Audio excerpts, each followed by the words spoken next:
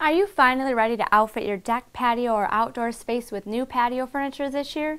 Maybe you want to turn part of your landscape into an alfresco family room or dining area, or you're just trying to create a small nook in your garden to unwind after a long day. I'm Melissa from Northline Express, and while I agree that getting back into nature and open air living is great, I know with all the options, choosing outdoor furniture can be overwhelming. If you follow the basic tips in this video, you'll be on your way to an outdoor oasis that meets your every need. Start first by putting some thought into the outdoor space that you're trying to create. Are you looking for a dining area or a peaceful area to curl up and get lost in a good book? Once you determine what you want to do with the area that you're working with, consider the size of the area that you're working with.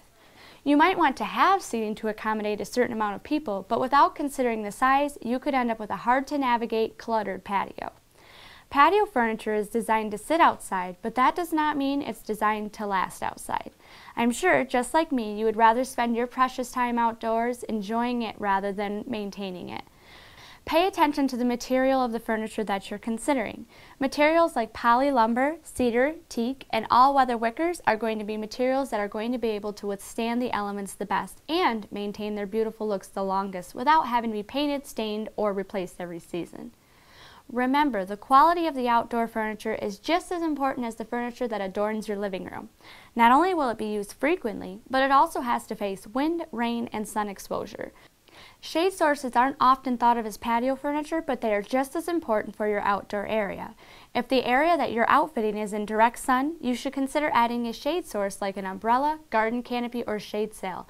Not only will this provide relief from the blistering sun while you're enjoying your patio, but it will also help protect your patio furniture from sun as well. Extended exposure to sun can fade your patio furniture cushions, and certain furniture materials when exposed for long periods of time can also even warp. I hope you found this information helpful and you consider these tips while you're outfitting your outdoor space. But if you run into questions along the way, give us a call at 866-667-8454. At Northline Express, home of the Buy and Try Satisfaction Guarantee, we're always happy to help.